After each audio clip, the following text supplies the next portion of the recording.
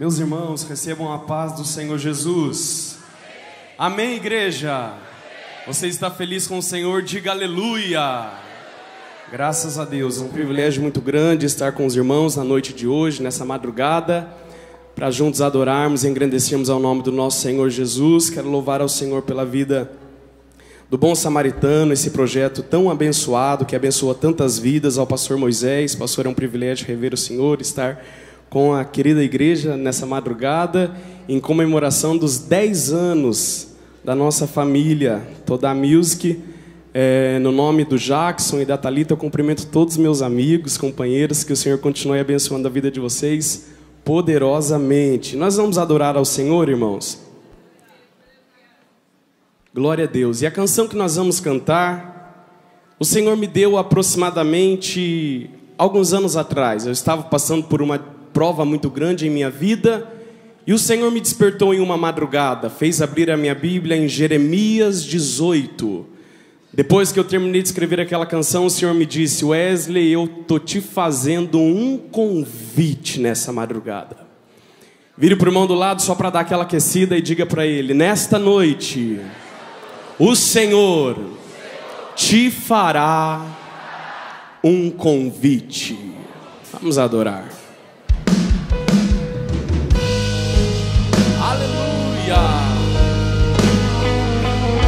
Ele é grande.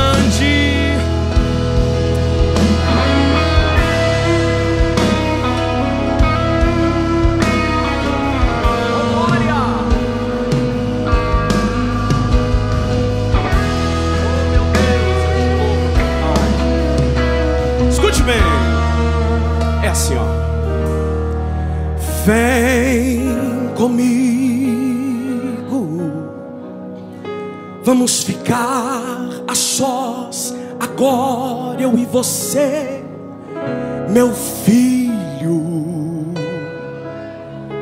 Vem comigo. Vamos descer em um lugar pois eu preciso conversar contigo. Esta é olaria e eu sou oleiro, e esse barro na roda és tu. Vou te modelar da minha maneira, pois és precioso e de ti não desisto. Hum. Depois, é, olha só. Tive encontro com o oleiro, o vento começou a soprar. Algumas portas se fecharam para mim. A torneira que jorrava começou a pingar. Os amigos começaram a me abandonar. O dinheiro começou a me faltar.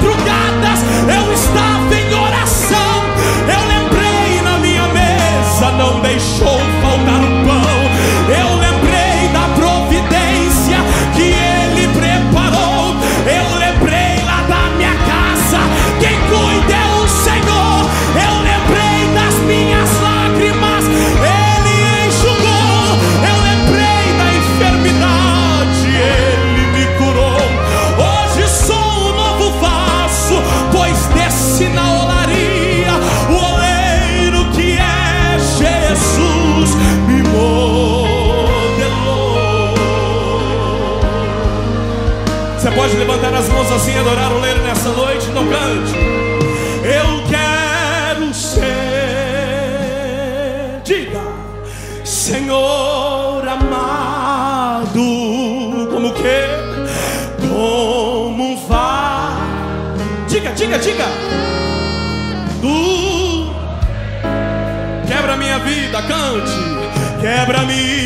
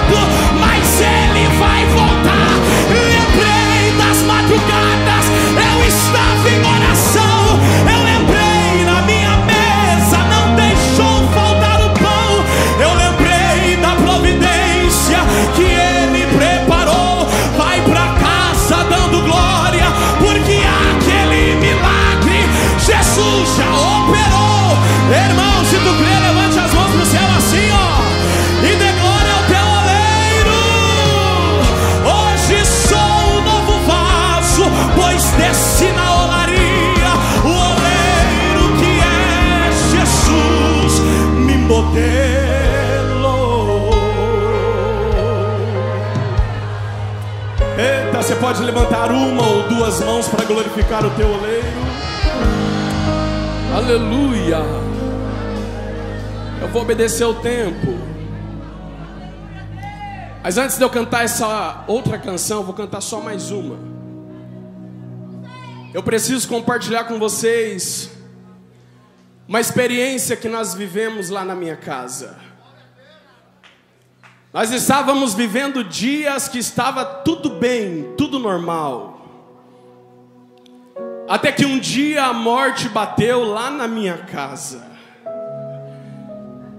Minha mãe vivia seus dias bem, mas um certo dia minha mãe foi acometida por leucemia. Ela pesava mais de 70 quilos. Em menos de um mês ela passou a pesar menos de 40 quilos. A cama, que era no quarto, na parte de cima, pastor Moisés, teve que descer para a sala. Pois ela não tinha mais forças para subir a escada de casa. Para ir à cozinha ela precisava de ajuda, para ir ao banheiro ela precisava de ajuda. E nós pensávamos que minha mãe morreria naquele processo. Para quem não sabe, leucemia é um câncer no sangue. E um certo dia minha mãe já estava se preparando para dormir. Ela apagou as luzes da sala, fechou a porta. O meu pai estava trabalhando, minha avó estava em casa cuidando de mim e do meu irmão mais novo. Quando de repente minha mãe percebeu que ao deitar na cama, a porta da sala começou a se abrir sozinha. Eita, ela viu que um homem de branco com roupa de médico adentrava na sala da minha casa. E ele entrou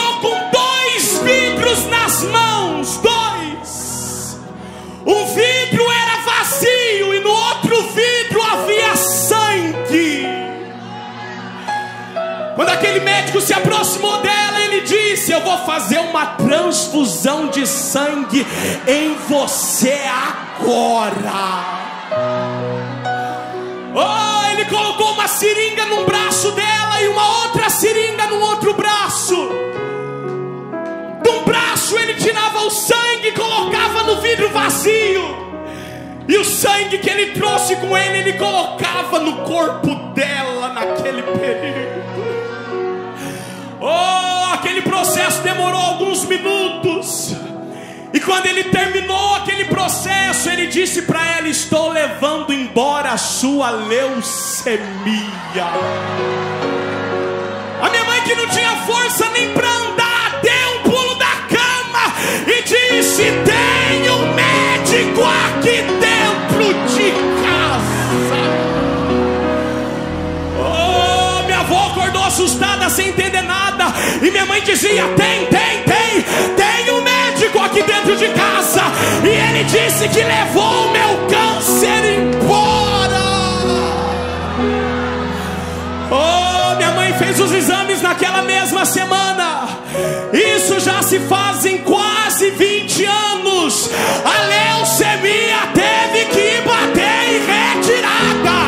Eita, e ela tá vivinha pra dar glória ao Rei da Glória. Será que tu pode levantar as suas mãos e glorificar ao Senhor? Eita, uma não, as duas mãos pro céu para glorificar a Ele.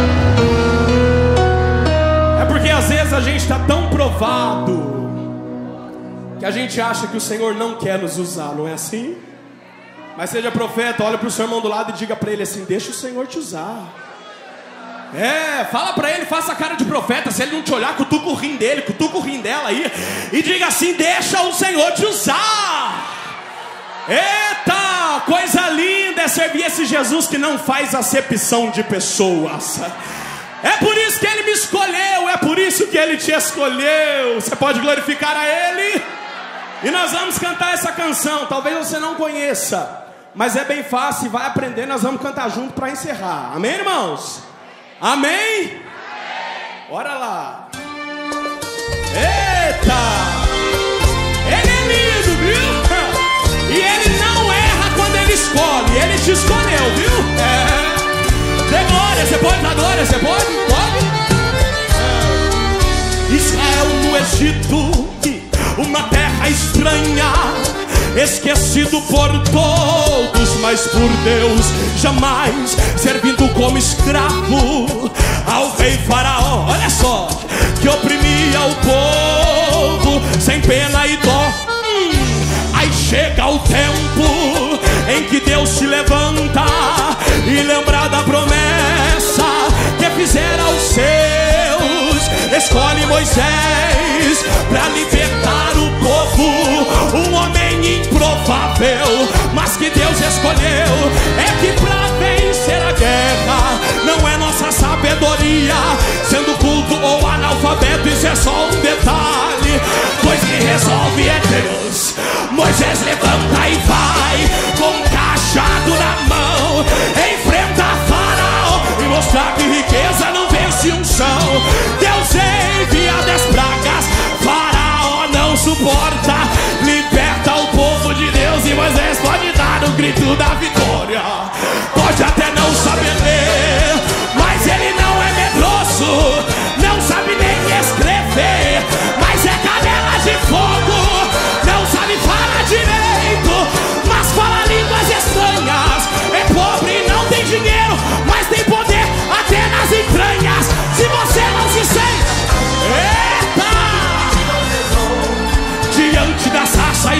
Quem fala contigo é o Senhor.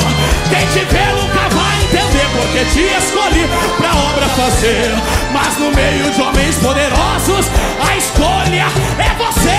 Não sabe ler, mas quer usar. Não sabe escrever, mas quer usar. É gado e banho, mas quero moradia, aluguel. Não é conhecido, não tem aparência.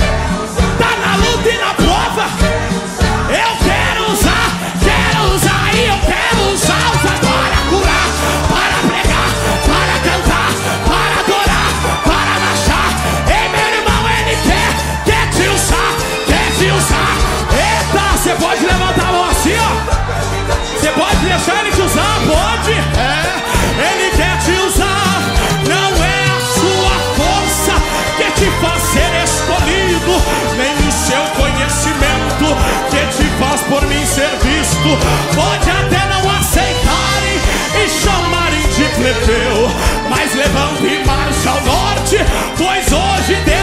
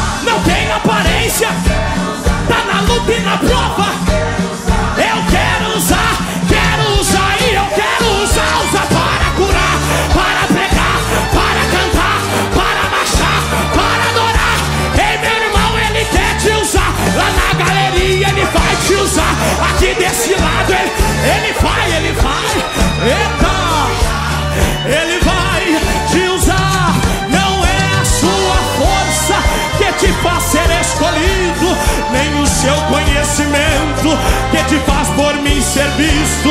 Pode até não aceitarem e chamarem de plebeu, mas levanta em marcha ao norte